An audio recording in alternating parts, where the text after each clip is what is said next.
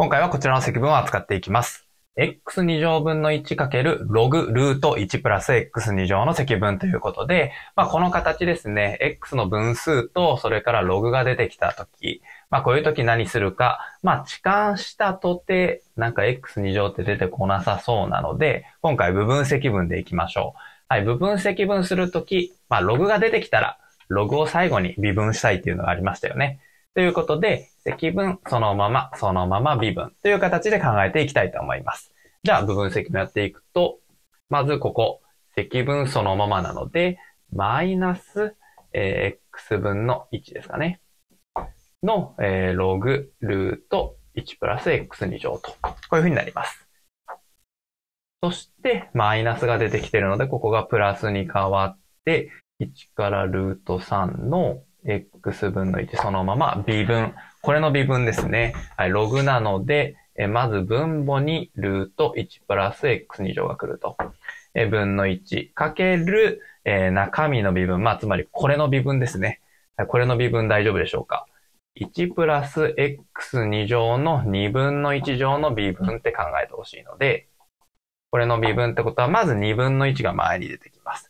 そして、この次数が1下がるので、マイナス2分の1乗になります。さらに、この中身の微分で 2x が出てきますね。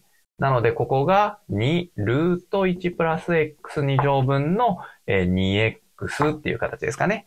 で、2が約分されるということで、ここがルート1プラス x2 乗分の x の dx と、このような形になりますね。そしてちょうどここ x が約分されて、さらにここルート同士同じものなので、ルートが消えると。ちょっとだけ楽になります。はい、ここをまず計算していくと、ルート3を入れたら、ここが、えー、っと、1プラス3になって、ルート4になって2になりますね。ということで、マイナスルート3分の1のログ2と。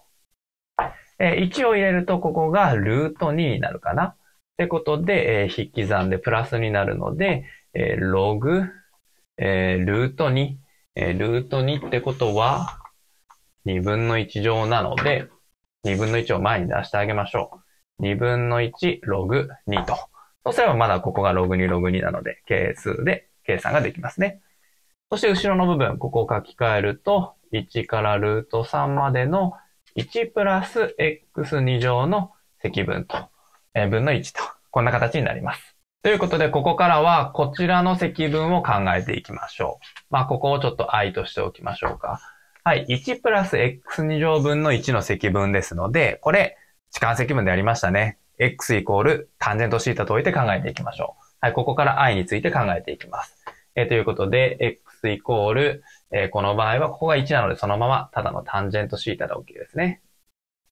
置くと、えー、両辺微分して dx イコールコサイン2乗シータ分の1の d シータと。こういう風になりますね。あとは積分区間。x が1からルート3まで。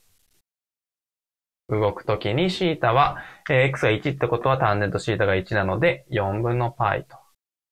そしてルート3のとき、タンジェントがルート3なので3分の π という風になります。ということで i の部分を書き換えていくと i イコール4分の π から3分の π まで。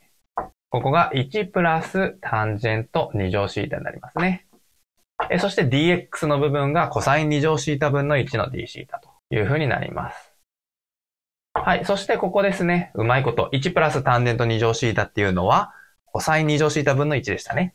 ということは、ここがうまく、こことここで約分されて消えます。ということで、4分の π から3分の π まで d シータ、1の積分ですね。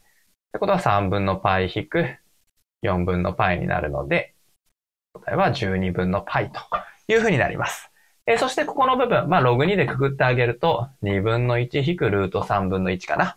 ということで答えをまとめてあげると、えー、2分の1引くルート3分の1のログ2プラス、えー、この i の部分、これですね。12分の π と。 このように求めることができます。